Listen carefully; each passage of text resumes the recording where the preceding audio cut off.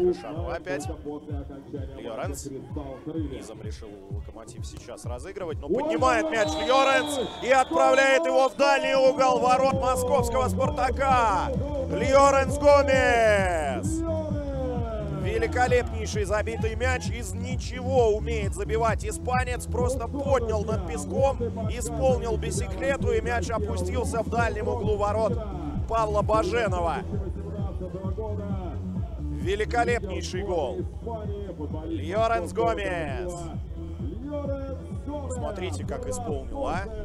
Подыграл себе головой, еще так красиво почеканил мяч несколько раз.